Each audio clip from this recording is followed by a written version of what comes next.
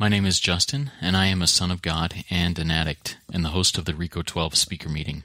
And thanks to my God, the steps, and the fellowship of other addicts, I am living the relatively happy, joyous, and free life that is promised to those living in recovery, and have been very active in the rooms of recovery since September of 2013. Welcome to this special meeting of RECO 12. RECO 12 is an organization with the mission of learning and sharing the similarities of addiction of all kinds and gaining and sharing tools and hope from others who are trudging this road. We are an open meeting for all, no matter your life experiences and background. To learn more about RECO 12, please go to www.reco12.com. That's R-E-C-O-1-2.com. RECO 12 is a self-supporting service, and we appreciate your help in keeping us working our 12th step in this manner. I will put the information and links in the show notes of this meeting, of the podcast, if you wish to contribute to this cause. Now, why, you ask, is this a special meeting? It's because this one was recorded in front of a physical audience, a live physical audience of about 100 people at a conference for the SA Lifeline Foundation that was held on Saturday, September 10th, 2022. I, along with the guest speakers Justin and Erin B. of Texas, were asked to do a session that looks much like a typical RECO 12 speaker meeting during a breakout session of that conference. It turned out to be a great experience for all of us involved. The sound is a little different than normal, as it was recorded in a large classroom and with a live audience but the audio quality is good enough to catch the message and the spirit of the meeting. Now, to learn more about SA Lifeline Foundation, please check out the links in the show notes below. Now, you will definitely hear the light reflected by Justin and Erin, and that light will inspire hope, meaning, worth, and growth in you, as it did in the live audience and in me. The title of this session is Healing Families. It Really Happens. I will now jump into the recording where we are all introduced to the live audience. My name is Andrew. I'm a sex addict, and I'm going to be introducing this section. Um, welcome to, to this breakout session of the of the conference, and thank you for being here. Hopefully, you had an enjoyable lunch and you've enjoyed the conference so far. Um, I know it's it's been pretty powerful for me, um, so hopefully you're experiencing the same. Um, we're here to, to talk about healing families. That's one of the focuses of the foundation and of SA, SAL 12 steps. So we, we've invited Justin B. and Justin B. and his wife Erin to, to talk about that. So I'm going to read a little bit of an introduction um, to these folks. And don't they look great sitting up here? I, am used to seeing them online um, in meetings, and and now I get to see them in person, and they just look great. I think so. So. Justin B. introduces himself in meetings as the Son of God and a recovering addict to lust. Thanks to his God, his sponsor, the Steps and, and Fellowship of Recovery, and not least of all, his extremely patient and wonderful wife, Heather, who has been working her own recovery, exacerbated greatly by his betrayal for eight years longer than he has. He is sober one day at a time since June 19, 2015. At almost five years sober, he had a couple of massive awakenings that revolutionized his recovery. He interviewed a couple of men, both of them not of his faith, who introduced to him the concept that the God of his understanding could be incom- incomplete and that it is possible to really, really make and improve his conscious contact with God on a daily basis. Justin now makes a serious avocation, striving to carry the, the message through sponsoring others, taking recovery calls, and hosting the RECO 12 Speaker Meeting podcast. If you have any questions about that, I'm sure he'll be glad to answer those questions. Um, Erin and Justin have been married for 13 years and currently live in Melissa, Texas, with their three children, ages 10, 7, and 4. Erin is a college math professor and tutor. Justin works in international communications for uh, internal communications. the, the font is really small. So, um, internal communications for Liberty Mutual Insurance. They love food, cooking, moving, movies, working out, and all things Disney. Um, their journey with addiction and betrayal trauma recovery began 11 years ago when, two years into their marriage, Justin disclosed for the first time that he had a pornography addiction. They spoke with parents and religious leaders and both started 12 step programs. They had the unique privilege of having Erin's parents in recovery. Erin's father is 16 years sober, and both her parents have led recovery groups. Over the next eight years, Justin took he and Erin on a roller coaster of white knuckling sobriety and addict mode. His addiction continued to progress until his rock bottom in 2019, which included an emotional affair and suicidal ideation. Finally, they got help from individual and couple certified sex addiction therapists, started attending SAL, got sponsors, and truly worked their own programs. They are both trudging the road of happy destiny and working their own programs for their individual recovery. And it has been a long and bumpy road. Gratefully, it has brought them closer together and through a full therapeutic disclosure, amazing therapists, wonderful sponsors, and fellowship of other addicts and betrayed spouses, and God's intervening miracles, today they are living more happy, joyous, and free. They love sharing their experience, strength, and hope with others, and are thrilled to be at the conference today. So let's give them a round of applause. Yeah. Take it away. All right, real quick, I'm Justin. Um, and before we get started, if you don't mind, I'd like to start us off with the set aside prayer, or a version of the set aside prayer, so that we can, uh, so I don't get in the way of God in this. God, please bless, help us to set aside this uh, this meeting, set aside our understanding of each other, of ourselves, of of recovery, of betrayal trauma, of of you. We ask that we can set those aside, that we can gain a new understanding of each of these things, that we won't get in the way, and that our hearts and minds will be open to you. We give this next period of time to you, and do so in my higher power's name, Jesus Christ. Amen. Amen. All right. We're all many of us, I'm not going to say we all, many of us are familiar with the SAL book. Um, we call it in the meeting the blue book, the SAL book, whatever. But there's a line on here that you can't read unless you go to the right angle. Recovering individuals, healing families. Healing families is what we're going to talk about today. And I'm really excited about our guests. Andrew's done a great job introducing them, so I'm not going to go into any more detail. But I love Justin and Erin's awesome. I've met her a couple times online and now in person, and this is really good. Online, I don't know if you, and over the phone, Zoom, whatever, but really good stuff. Um, they're going to share their story with us, and then we'll be asking some questions. We're going to run this in a Q&A. So if you have questions, save them up for the end, and we'll take your questions and answers at that point. Justin, Heather, it's yours.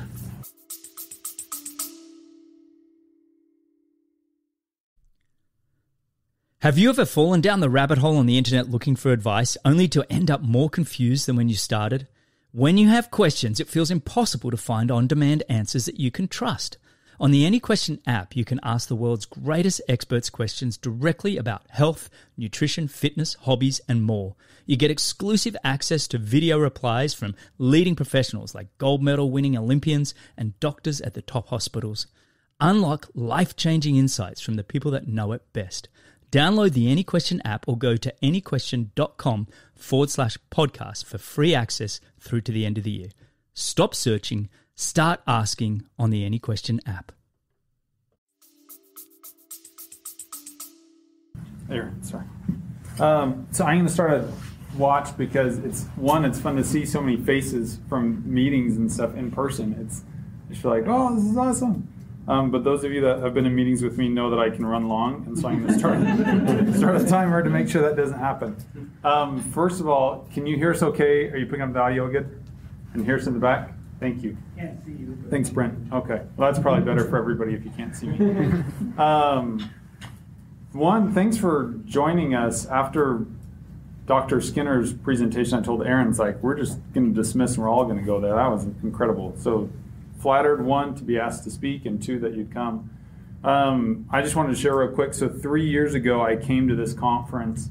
Uh, it was right after our disclosure. We were separated, and we'll, we'll get to that in a minute. Um, but there was a couple that offered their experience, strength, and hope. Their story was very similar to ours, and they were still married. And I was at a really difficult point, and hearing somebody offer that that strength um, was kind of a game changer for me. So hopefully, what something we say can be of benefit to you, um, and and like Justin said in the prayer, we can put aside any of our own thoughts and, and speak what God wants to say. Also, if you're single, separated, divorced, in the middle of divorce, whatever it might be, um, hope that that doesn't take you out of this message and, and that God can still speak to you. He loves you and is aware of you and your needs, and so hopefully you can hear what He has for you today. And your family still needs healing. Yes. And this is what we're talking about. Yeah, absolutely. Um, so, kind of brief uh, rundown of our story. I was first introduced into pornography when I was 11 years old. Me and three of the friends were hanging out at, at a house, and we found a, a magazine that his dad had, and uh, we thought, well, this is pretty cool. Let's check it out. I immediately knew that it was wrong, um, but still chose to look, and I can still. I mean, those mem- images are forever burned in my brain. Um, over the next several years, it was. Uh, I, I, was kind of immediately hooked. Um, repeated exposure through magazines and videos at friends' houses, um, looking for a lust hit anywhere I could get it. And um, anyways, it, it progressed. Um, when I was in college, it was to the point where I was online chatting in sex chat rooms, uh, masturbation, video chatting, and um, over the years, I had told my parents a couple times, told religious leaders, and the the message was always the same, right? Like pray harder, go to the temple, don't go to the temple, wait two weeks to go to the temple, don't take the sacrament this week, take next week. Um, you know, fast more, all those things, and, and it'll go away. And I was told that, um, and I believed that when I got married, it would it would just go away, right? Because it was just a, a, sexual craving, and when I could have a sexy, healthy sexual relationship, then it just all goes away, right? And we know that that is not the case. Um, unfortunately, I did not tell Erin about my addiction before we got married. Um, I, I bought into that belief that it would be a non issue. I'd been sober for four months before we got married, and so I was like, oh, I'm fixed. We're great. We're good to go. Um, and about six months into our marriage, I relapsed, and I thought, okay, this is a fluke, never going to happen again.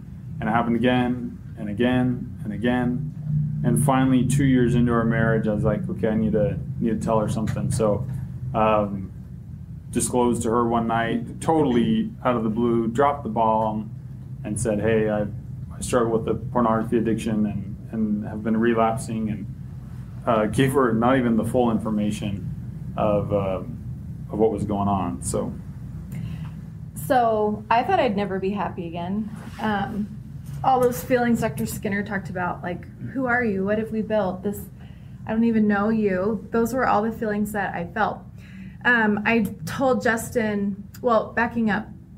So, my parents, my father is a sex addict who's been in recovery for a while. My parents had both been in recovery for a while. And um, I told Justin, I didn't know it at the time, but they had told me that I always needed to ask when I was dating, do you have an issue with pornography? And so that was something that I had been taught growing up. Do you guys want us to stand so you can see us? But okay, I'll okay. stand. I can stand.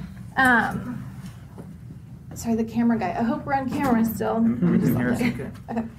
Um, so they had told me I needed to ask about pornography being an issue because it's just more prevalent now than it used to be.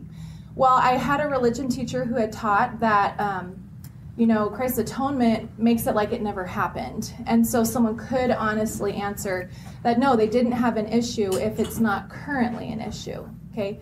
So I just bought that because it sounded nicer and cleaner and easier. And so I told Justin about these two different conversation, you know, ways to approach this and said, "So do you have anything to say to me, you know, about this?" And he said, No, I don't. Let's go get married. And so I thought all was well. So when he came forward two years in, I was just shattered and heartbroken. And I thought, I don't even know you. He'd, he'd been on this pedestal, this perfect guy. So I told him he had to tell our parents. That was the first time I learned about my own father's sexual addiction and their experience. My mom was my first group leader, and it was a really cool experience to learn when I was in the group, there were all these girls I'd grown up with, and their husbands I had grown up with and knew and loved. And it took away some of the shame for me of that this affects the best people that I know and all the best men in my life and my relatives. And this is just something that affects everybody. So that started to help me. And I started doing the, the 12 step in that old program. Yeah. So we told our parents, told our bishop, um, went and got therapy went through therapy. Yeah, he was a dentist by day and a therapist, therapist by night. For real. He's a really good guy. I'm sure he's a great dentist. but but it wasn't it wasn't super helpful. He, he told me that I couldn't trust my husband's behavior, but I could trust that he would now be accountable. And so someone who had kept something from me is now magically going to tell me the truth. But I clung to that. I told that to other people who had just entered. I have some regrets. Um, but I know the truth now. That's not how addiction works. That's not how behavior changes. And so I just started believing whatever Justin told me about his recovery. And I would start asking questions because now I knew this was a thing. And I was always reassured that he was doing well, things were going fine. Yeah.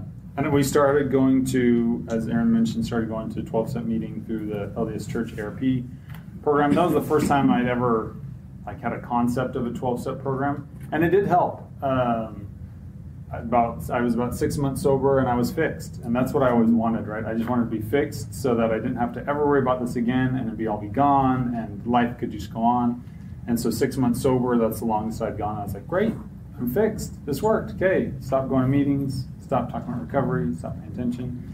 And life was good at that point. Work was going well. Our relationship was good. And so um, I was sober. And I say it that way because looking back, like I was still getting lust hits whenever I could get them. I just wasn't acting out my normal acting out behavior. Um, that lasted for a couple years. And then life got hard again. And work was stressful. We and had kids. We, yeah, we had kids. Um, she just had our second. Um, work was super busy and I relapsed and I told myself, well, I can't tell her right now because we've got a little one and how stressful is that? It's just going to crush her, so I better keep it secret. So went through this whole pattern again of acting out uh, frequently and hiding it from her, and she would ask, and nope, everything's good. Yeah, not an issue anymore. I'm fixed. No, no problems. Um, until finally, um, we were having some meeting with our bishop, and I knew that it was going to come to a head and I had to say something. And so I told my bishop, and then it was like a couple months later, I told her again, saying, Hey, by the way, I've been lying and relapsing again. I was so mad. I was so mad because this time I knew that he'd been deliberately lying to me. I had asked all the right questions. I had, Are you doing this? Have you seen this? How's your emotional state? You know, so I was really pissed because you've been lying to my face this time, not just like I never knew about it. So I was really angry and sad. It's like all the emotions and then anger on top. So we realized now that the first counselor's counsel was bad. So we found a new therapist, had really nice leather couches, very expensive. And um, so we thought he was a great therapist. One of the messages, we, we have since learned the value of specialized therapy, which we'll talk about later. Um, one of the messages that I got from this therapist was that I had been, um, because my father had been a sex addict, that I had been seeking for a similar relationship in my own marriage relationship. So it's my fault that I married a sex addict. Like, I chose this which is hilarious and so wrong because I intentionally looked for someone who had different attributes than the ones I didn't like in my dad. So I picked someone who I thought was the opposite. And here I'm getting told by my therapist that I'm living in a self fulfilling prophecy. So, anyway, he didn't do a lot of good for us either. But at the time, we thought it was, you know, we, He looked legit. so anyway, And, and he told me, he said, you're always, if you don't do something different, you're always going to go back to porn. And I was like, oh, that makes sense. What should I do different? And I never got that answer. So that, that is true, but I never got the answer what else to do. So um, went back to ARP, told parents again, told bishops again, went through the cycle. And I'm super intelligent and really fast learner. So six months later, when I was fixed again, I stopped going to meetings. And, and this time I'm asking better questions, more questions. You know, I'm trying to make sure he's working his recovery because that's my job, right? I can. Yeah. You know, And so, about a year later, um, we were mo- we were living in Georgia at the time. Um, I'm from Utah. I wanted to come back here. I got accepted to the U. Go Utes! I saw someone with the shirt. Um, I'm glad nobody walked out on that one. Thank you. Um, but uh, came back to do my MBA, and so we we moved to Utah. Um, I came out a month or two earlier to start work while we were getting everything ready to move. And within weeks of moving out here, I relapsed again. And I really wanted to be in Utah, and I really wanted her to like being in Utah. And so again, I told myself, well, I can't tell her because then she'll associate relapsing with Utah, and she'll never want to stay here. And it's already stressful because she's home alone with the kids while I'm at work. So again, obviously not a fast learner. So hit it again and went through um, period of relapse and and lying. This time it was different though. I think maybe we mentioned as few as you were walking in, as I'm sure addicts in here have experienced. Every time I went back to my addiction, I just picked up from where I went off and then went darker and deeper. Um, so this time it got bad quick, um, and I was not in a good healthy state. I was working full time and doing school full time. Um, we had another child, so she was home alone almost all the time with three little kids. I was at school and working, um, and just super resentful. I came home. Why is the you know why is the house a mess? Why is the dishes dirty? You know what have you been doing all day? And she gets home and she's just exhausted, um, and I'm gone all the time, and I just fed in like all that resentment that I had developed. I used as justification for my addiction. You know like we're disconnected. She's unavailable. And this time, unfortunately, um, I one thing that I love about SAL that I've learned is our addiction is to lust and be lusted after, right? And so I was lusting through pornography, but I the I was missing the piece to be lusted after, and so I um, pursued and was involved in an emotional affair with the woman that I worked with. Um, for all intents and purposes, I dated this woman. Um, short of kissing and having sex, I mean, I, we were totally involved, talked all the time, met outside of work. Um, and I was certain, like, this is, you know, this woman has everything that I want. My wife has nothing that I want. Um, I'm only sticking around for the kids, like, game over. And one night, uh, and this I feel stupid even saying it, but uh, addicts are stupid. Um, um, I came home one day and it was like, hey, we need to talk about the state of this house and how messy it is and everything you're not doing. And like had this conversation about all my frustrations and how I'm feeling, you know, overworked and blah blah blah. And I heard God say to me to just wait and to just listen because it wasn't about the house. And so if I could sit still and keep my mouth shut while he was talking, then I could ask my question what does pornography have to do with this? And I did. And even though the housekeeping was a really offensive conversation, um, but then I said, okay, this isn't about the house. What does pornography have to do with it? And then he finally opened up about the last year and a half of using. He did not open up about the emotional affair. And over the next year, so then I started finally going to my own therapist, a betrayal trauma specialist, and I felt so validated. And it was this whole new world that I am not crazy. There's a reason why I feel the way I do. And it was really good for me to have my own therapist. And so he also saw his own CSAT therapist. So, like, we're starting to see the right kind of therapists, but our relationship is still pretty rocky because he's holding onto this secret and I don't know about it. But I I am starting to suspect, and I even asked about this woman several times, and would bring up bring her up when we started going to. Um, Justin eventually said he wanted a divorce in January. He had brought the other stuff up November. So January, he says he wants a divorce. I say, okay, but we ha- have to go to couples therapy to try first, like last ditch effort. So we do, and I brought her up in couples therapy, all the gaslighting coming back. And eventually we decide to do a formal therapeutic disclosure, like get it all on the table. Yeah, so to give you an idea, November, has asks about pornography, and I, I tell her just the pornography piece. January, I say I want a divorce. And then she had said, you know, I want a full therapeutic disclosure. We didn't do the full therapeutic disclosure until the following September. So it was nine months later. And a big part of that was I was dragging my feet like, if we do a full therapeutic disclosure, I have to give up everything. And I wasn't ready to do that. Um, it was probably June-ish, May or June, where I thought, okay, yeah, let's let's do this. Um, and as it got closer and I started writing my disclosure, I was overcome with shame. And I knew for sure there was no way we were going to stay married after this. Like, it's not going to happen. I've done too much. It's we're not going to stay married. I can't. yeah, I can't do this. But I knew that I had to.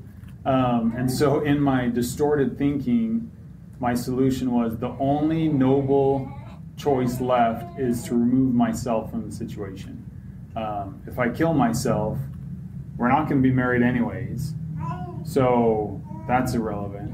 So if I kill myself before disclosure, then she doesn't have to hear it, and then she's still gonna, she can move on without having to worry about me uh, getting in the way or having to co-parent or anything. So I felt like that was the the noble decision.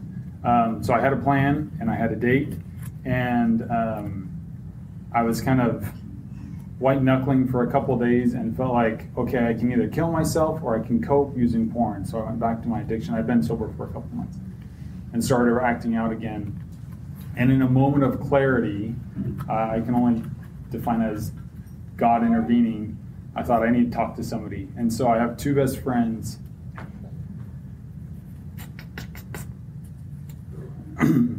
We've been close for almost 30 years, yeah. Luckily, one's a therapist. Um, so I called them and said, "Hey guys, this is this is what's going on," and they didn't know about the affair. They knew about my addiction, and uh, shared with them. I didn't. I didn't even tell my uh, therapist about, about my suicidal ideation, and told him, and um, he's. I did not expect to get this emotional. he said, Justin, you have three choices it's death, disclosure, or divorce.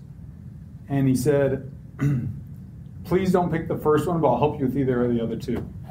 And he said, but why don't we try disclosure first?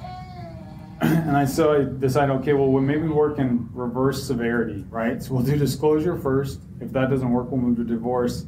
And then I'm not quite ready to take death off the table, but but I'll table like I'll put it on the back burner for now.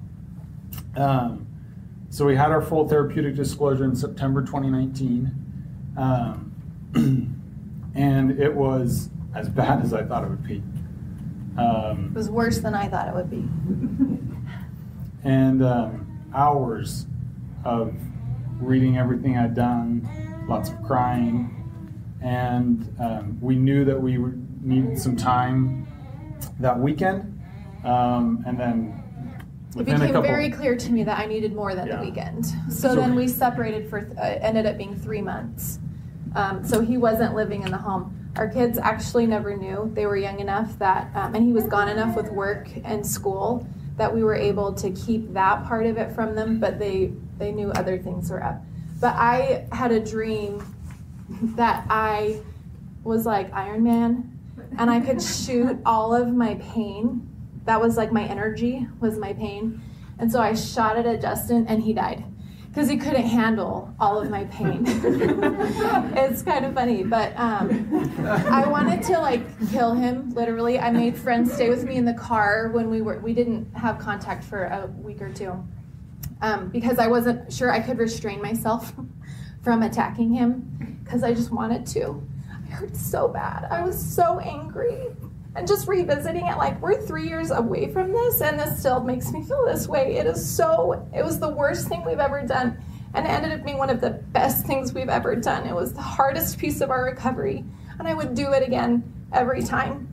Yeah. I would choose it again. And we need to move faster because thank we want to leave time. Um, like Dr. Skinner outlined, we did the full therapeutic disclosure. Therapeutic is key there. Please do a therapeutic disclosure. Yeah. Um, and then an impact statement. So she was able to share how she felt about everything that I'd done. And I didn't realize how honest I hadn't been, like they talked about in there. I thought I'm not lying, I'm, but I wasn't being honest or um, healthily communicating my needs and my emotions. And so personal individual therapy really helped me learn how to do that and, and the whole process. And then we did a, a restitution letter. So that all wrapped up December 2019. Um, like I shared briefly at the beginning, a week after disclosure, um, we came to the conference here. I've been to a couple. You came, I didn't I, come. yeah, sorry, I came. Um, I've been to a couple in-person SAL meetings. I've been to SA, A, SAA and ARP, and was kind of trying to find a, a fellowship. And like I said, after coming to this conference and hearing experience, strength, and hope of others, I was like, okay, I'm going to do SAL. Um, that Tuesday, I went to the. Jeez, I'm not the crier. I'm the Um, I went to the Tuesday eight o'clock Zoom meeting, and uh, immediately felt loved and supported. And guys stayed on after and talked to me and called me that week. And I love you guys. And so that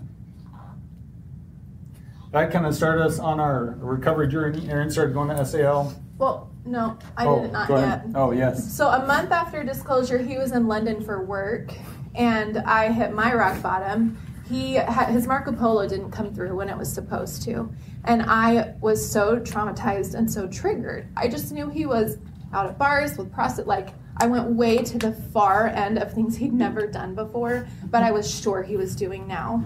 So I was. We were in Utah. He was in London. I call him. It's the middle of the night. I get through to the hotel, and I'm in my backyard, and I'm screaming all the f words, and I'm just raging at him for how he missed his check-in and how like if I hadn't heard from him, I probably would have filed the next day. Like I was so angry, and that's when I was like, oh this is unmanageable behavior.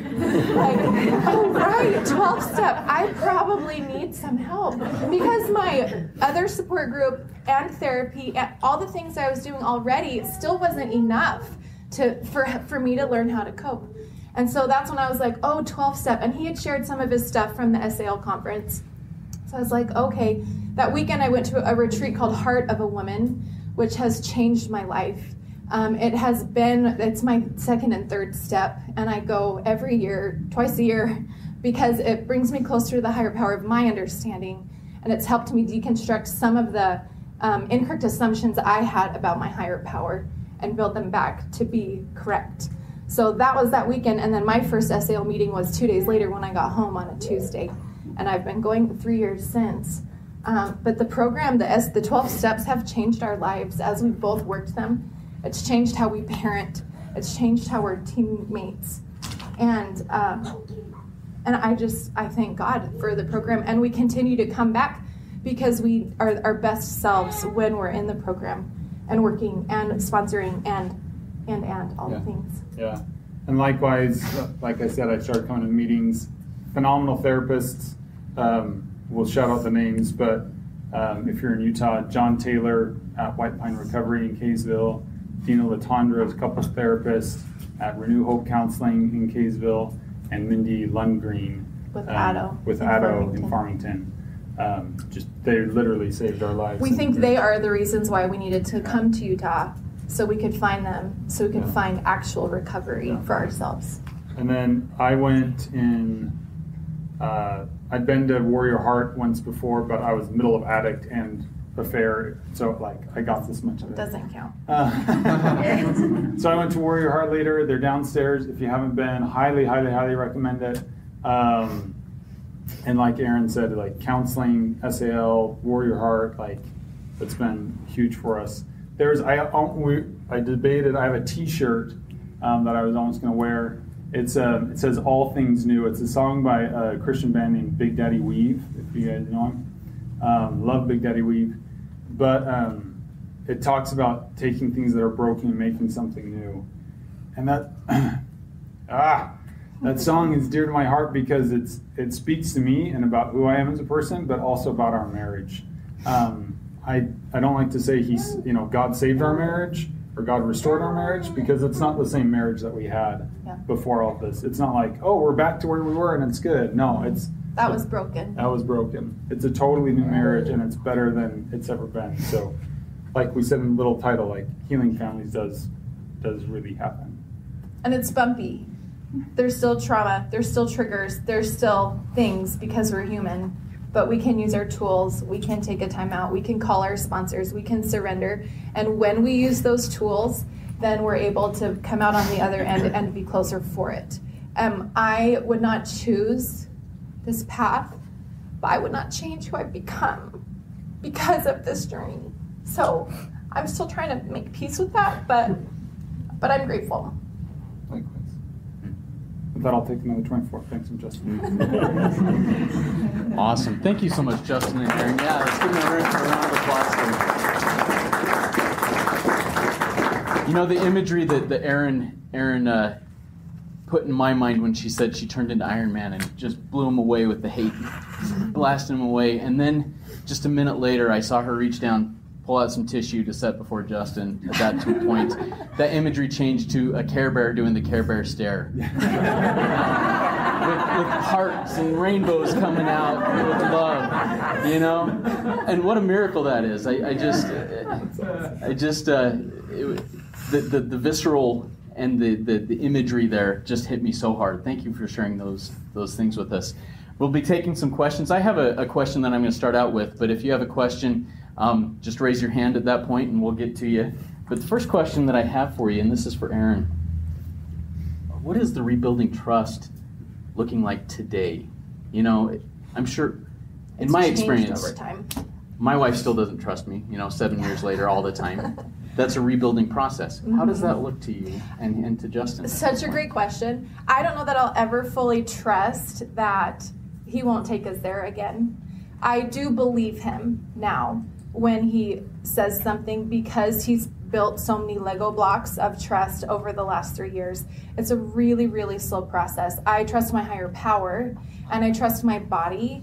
So I will never ignore when my body is giving me those red flags again. So when he says something and it's aligned with my body and it's aligned with what I hear from my higher power, then I feel peace that he's being honest or he's he's whatever. Did you always trust your higher power like No, no, I didn't. No. What changed?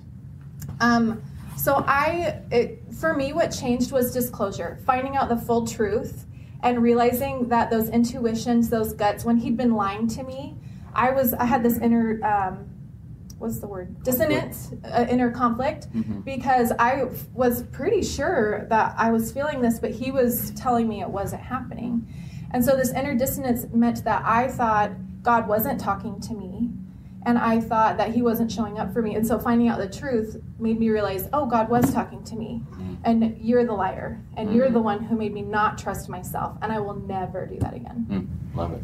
Thank you. Thank you. All right, questions for Erin or Justin from the audience? Yes. I have a question. So Erin started out saying, um, I thought I'd never be happy again. And I would love to just hear now, since you're obviously, you can see happiness, you know, what is that like for you now? Well, time helps a lot. Um, learning to tend to my emotions, self care. Um, all, all of the answers are the right. The answers we hear are the answers. It, it takes a lot of work and community and in being intentional. Like I remember after disclosure, I really thought I'd never be happy again. I prayed that God would kill me somehow, so it would be sanctioned by God, but it wouldn't be me taking my own life because I couldn't live with the pain. And so I would, and I had my kids still, you know, so we, I would do, the only happiness I could find was dance parties with my kids. So I could do it for five minutes. I could turn on a song and I could find some joy, and then I would go back to depression. So So it, it's time and intention and I don't know. It, that's a really hard question, Jenny. Thank you. I appreciate it. Thank you. Anybody else have a question for either Justin? Yes. Do you think you would ever feel the need to do another full disclosure? I know that some people they do like disclosures regularly. Like, is that a thing? I guess. we actually had to do two the first time because he kept some of the secrets still. So I had a lot of questions after the first disclosure, things that didn't quite add up for me. I teach math, I'm analytical. So there were some things that didn't add up to me. And upon asking those questions, we realized, oh, there are some things that you haven't shared that you should have included in your disclosure. So we did do a second one before we continued in that disclosure process. Right now, I will never put it off the table. Um, I don't feel the need to do one at this point because everything says that I'm getting the truth. And so there's not deceiving behaviors that I need to be made aware of. Yeah. Yeah, I, I agree. And for me, um, right after disclosure, something I didn't anticipate was how freeing it was. It was the first time in my life that I didn't have secrets, ever. And I remember we took a break and we're walking around the building. I was I was with my therapist. He said, "This is really hard," and he said, "You have a choice to never have to do this again." And that was powerful for me. And I I made a decision that I don't ever want to do this ever again. This is awful. Um, and so I committed to kind of like what Dr. Skinner was saying, like rigorous honesty. My therapist called it ridiculous honesty. Like you're being so honest, it's kind of stupid, but like, um, and it was really hard, especially she asked some follow up questions. You know, did you ever do this? Did you ever say this? Did you ever share that? Uh, particularly about the affair. And I really didn't want to answer the questions honestly. And so there were several times where I had to like really push and challenge myself to stay committed to that. Um, but it's been so freeing, and for myself personally, like the, the pain that I that occurs when I have to disclose something that's hard to hear is way better than the pain of holding a lie or getting caught in a lie later on. Um, so I won't do another one. Well, one day at a time. I hope to never have to do another one. Let's say it that way. love it, love it. Justin, early on, and I'll, I'll, get to your question in just a second. Early on, you said uh, you related something that somebody told you. You can either do something different or go back to porn, or maybe mm-hmm. you related that in your own mind. Yeah. What do you do today that's different so you don't go back? Work the steps. That's the answer. That's what he was missing. Um, you will, and I loved what. Um, Dr. Lemke explained just the psychology, like the science of the brain and how it works. Um, like our brains are wired to make ourselves feel better. So stress and pain and frustration, all those things, we're wired to do like, and as addicts, we've wired ourselves to turn to our addiction to feel better. And it's true. If you don't rewire your brain, you're always going to go back to that. And the missing piece was work the steps which which you really wasn't doing. Which I wa- I wasn't doing. I was writing the things in the manual. I never made a call outside of a meeting. I didn't know what it was to surrender. I'd never done like a really a fourth step inventory. Looked at my character defects. I'd never really made amends other than saying I'm sorry when she was crying. You know, like I hadn't worked the steps. And neither had I and I'd never let him work his recovery. I'd always told him what it should look like because I have all the answers. and if you, I felt so validated when his therapist, he'd come home and be like, My therapist said this. And it's like, I could have saved you $150. but it couldn't come from me. And it took rock bottom for us to give each other the space to work our own recoveries instead of me trying to work both. It, that doesn't work either. Love it. Thank you. Did you have a question? Yes. So this was, you know, healing families. So I'm wondering if you have tips for helping families, like your children, especially older teens, um, with that. Maybe if the behaviors are still ongoing, how do you help kids cope cope with that? Just that cycle of dysfunction. We don't have older teens, so we don't have experience with that. What experience we do have with 10 and under has been um, we try to help our children talk about their emotions So we try to help them identify them. We have feelings wheels with like funny faces on them, you know, for our kids to try to do that. And we're trying to model better behaviors so that they see healthy conflict resolution instead of just yelling behind closed doors, you know, or whatever. Do you have more answer? Yeah, I think um, it's. I can't go back and heal all the wounds that I've caused in my children. Uh, I'm incapable of doing that. Um, God will do that, and I will help pay for their therapy when they're older. and, and so they can work those things out. The best thing that I can do now is try to work a living amends for the harms that I've created for my children and showing up in better ways to to be present, to talk about, you know, healthy emotions and talk about addiction recovery and like what is addiction and how do we deal with it and shame and all those things. We try to teach our kids the, the circles models. We do use them and we teach our kids the healthy model. So we try to teach our children about God and about how to have an authentic relationship with God. And we teach them about self care and about therapy and about mindfulness. We have a kid with some anxiety issues. And so we're trying to teach them these tools that we're learning too. So we're all kind of learning together. And, and uh, yeah, uh, Stephen, do you have a question? I do. Thank you. When did you begin to gain some understanding and appreciation for the trauma that Erin had experienced early on, continued to experience? Um, and how does that affect what is your understanding now? So maybe you could give me a timeline of what your understanding of trauma was. That's such a good question. So when I first told her, I was very much in shame and I'm sorry and everything. And like, we had a good cry and then went to bed. I was like, oh, well, that wasn't as bad as I thought. And I woke up in the middle of the night hearing her sobbing. And that was the first time that I kind of felt uh, some of the pain or understanding of the pain that I caused her, say. Um, every disclosure that kind of repeated itself, and I hated seeing her cry and making her cry. Um, I don't think I really understood until full disclosure and then the impact statement specifically. So that was probably November 2019. Um, and her really laying out how she felt. And then the next process of me doing the restitution letter, and my therapist and I did a lot of work of leaning into that and how that really made me feel and really trying to get empathetic. Um, and that was the probably the most impactful process for me to really understand like okay if if i was in her shoes if this had happened to me how would i really feel about it?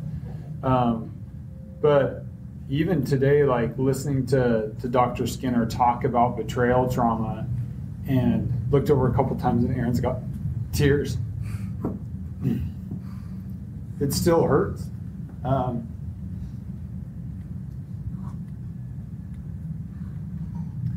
um, so I don't know, like like Dr. Skinner said, I'll never know the pain that she's experienced from betrayal trauma, unfortunately, uh, or or fortunately.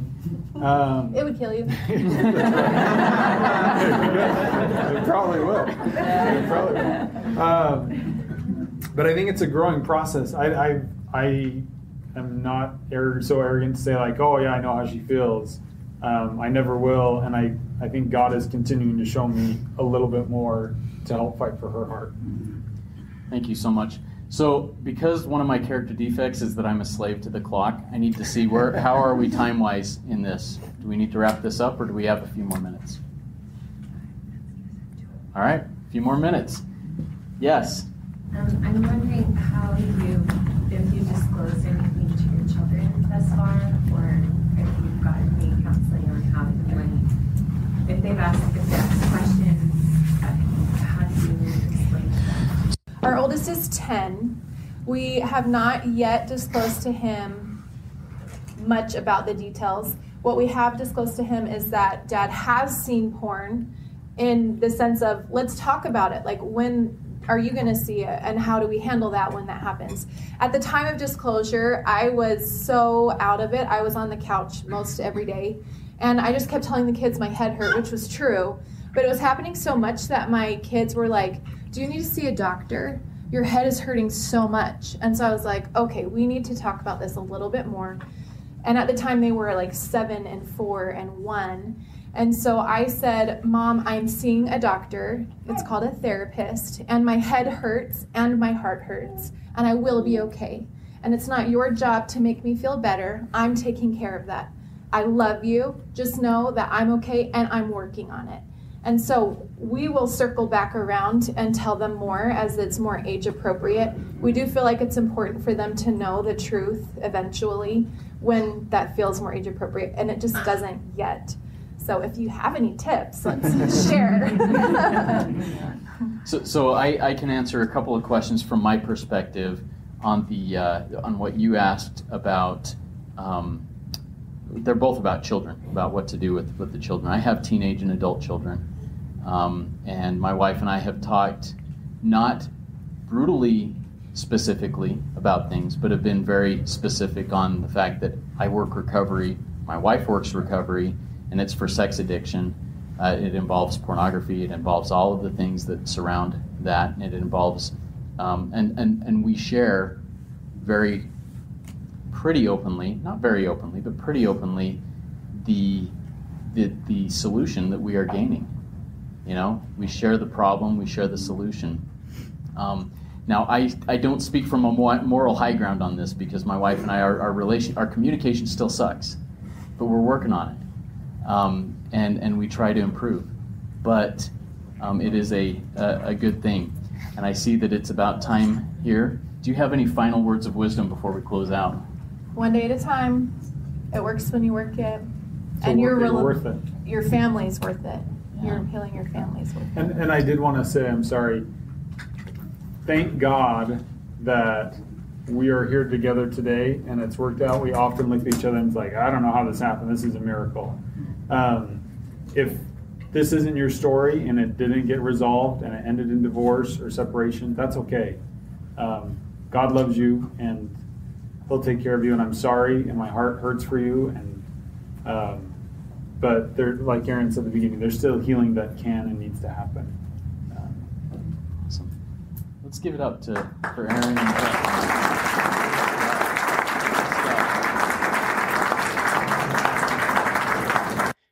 Man, wasn't that cool? I so enjoyed doing a meeting in that format and would be open to being invited to do something like this in other recovery centered conferences.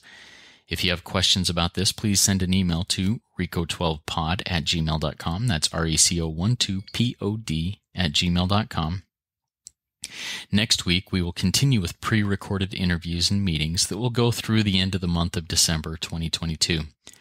Next week, we will hear from Sid K., the AA history nerd, as he speaks to us and answers questions about the flying blind period of AA. Now, that's the time between 1935 and when the Big Book was published in 1939. This one is going to be so good. I love learning the history of recovery, and Sid does a great job with it. Now I will pull the recording of the seventh step prayer that I closed out this breakout session with to close us out with in this meeting. I'm going to close us out with the seventh step prayer because um, it's one of my favorites, and I'm going to do it in the we in the we uh, pronoun. Our Creator, we are now willing that you should have all of us, good and bad. We pray that you now remove from us every single defect of character which stands in the way of our usefulness to you and our fellows. Grant us strength as we go out from here to do your bidding. Amen. Amen. Come trudge this happy road with me, everybody. Work it. You are worth it.